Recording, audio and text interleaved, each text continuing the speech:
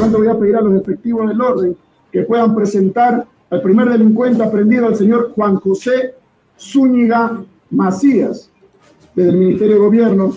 Vamos a realizar los requerimientos correspondientes para que se amplíen los verdaderos delitos por los Bolívia dando aula, mané, pegando o general golpista, botando a cara dele na mídia mesmo e botando lá, apreendido. Quais este sujeito deve pagar em um centro de reclusão em nosso país. Podem retirá-lo, por favor?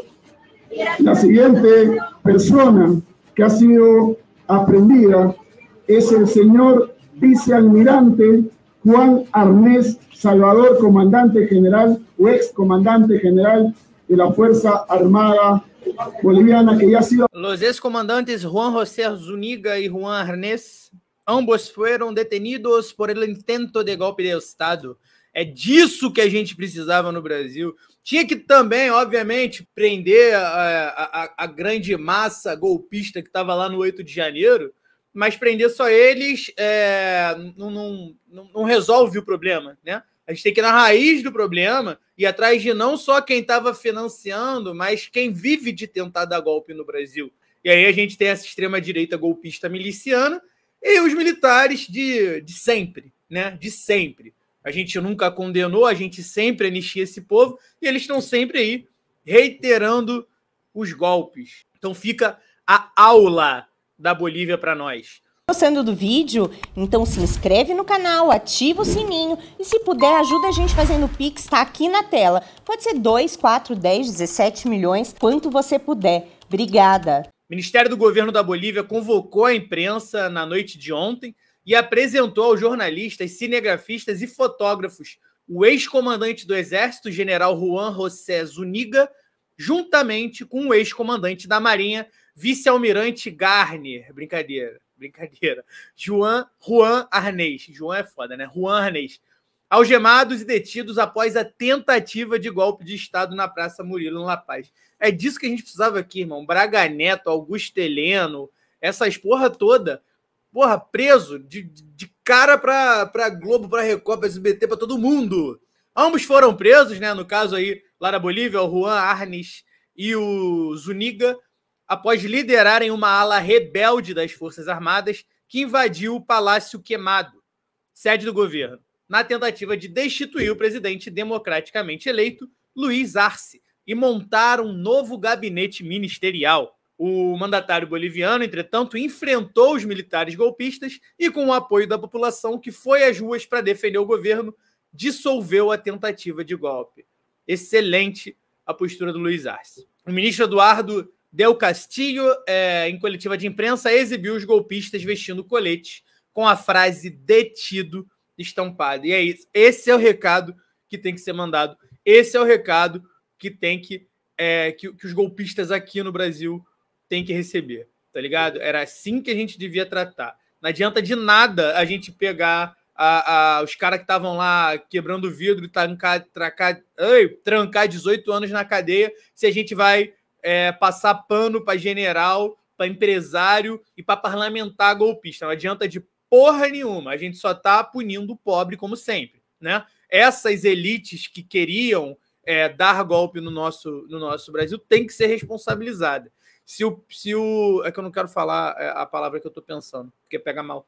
É, mas se o cara, se o peão que tava lá, peão no, fazendo a referência ao xadrez, o peão que tava lá no 8 de janeiro quebrando o Brasil, tá pegando 18 anos, é, os mentores intelectuais têm que pegar pelo menos 30, irmão. E é isso. Muito foda o que a Bolívia tá fazendo e é disso que a gente precisa aqui fazer isso com a caralhada de general golpista, filha da puta, que tem aí, que tá solto, aquecendo novos golpes, porque só sabem fazer isso. Presidente boliviano Luiz Arce celebrou a vitória contra a tentativa de golpe fracassada dos militares, agradecendo a população do país e as organizações sociais que tomaram as ruas para defender o governo democraticamente eleito.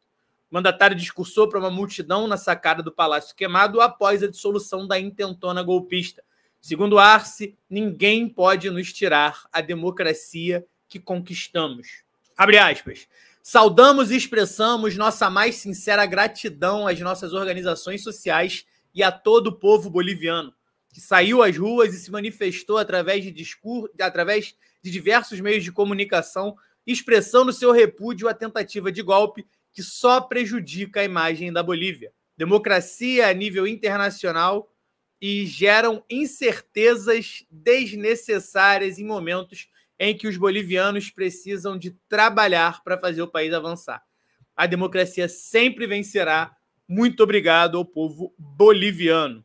A rápida tentativa de golpe aconteceu ontem, né? Se tu não, não, não tá ligado.